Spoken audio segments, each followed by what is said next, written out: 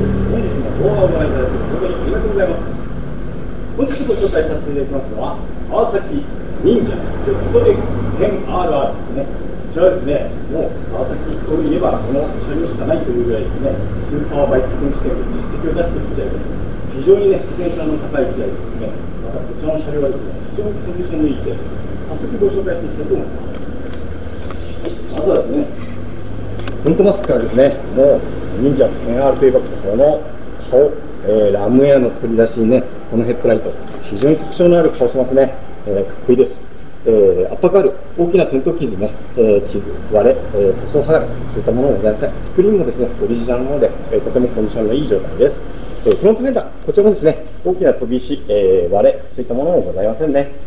はい、そしてね、フロントの足回り、ホイールですね、えー、マルケ G に装着です。こちらもね、軽量化に一つ、とても、えー、役立っておりますね。えブレーキ、えー、大型のね、実用化、えー、もちろんですがね、サビ不色ございません、えー、ブレーキ、キャリパー、ブレンボです。そしてですね、法律のフロントサスペンション、えー、フォークですが、こちらね、昭和製のものですね、え、川崎と昭和の、ね、コンビネーションの足回りとなります。はい、では、サイド回ってカウルですね。はい、立ちこけによるですね、え、大きなカウル割れ、え、そういったものは見受けられませんね。はい、ちょっとここエクボでしょうかね、えー、ただ、そこにはね、支障はなさそうですね。そしてポイントカバー、えー、クランケース、こちらもね、大きな転倒傷、そういったものもございません。ステップ、こちらもね、オリジナルのものですが、大きな曲がり、えー、そういったものございませんね。はい、えー、マフラー、こちらもね、オリジナルのものを装着しております。音は後ほどご紹介したいと思います。はい、えー、リア、足回りですね、え、フロント同様ですね、え、ホイールはルケジーンですね、えー、もちろんですが、大きなガリ傷、曲がり、そういったものもございません。はい、えー、後ろ、リア回りですね。はい、オリジナルの状態をね、キープした状態です。反対回ってシートです。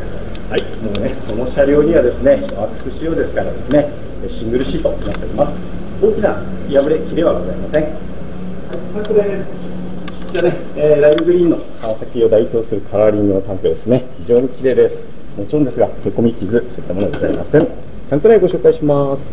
はい、左右色ありませんね。はい、ではエンジン始動、出来上がりいきます。はい、メーターは TFT メーターですね。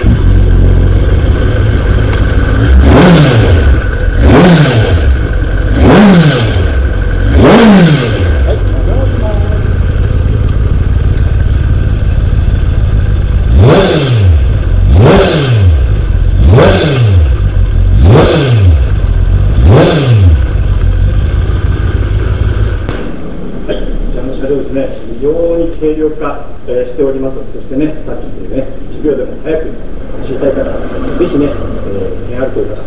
お待ちしております。よろしくお願いします。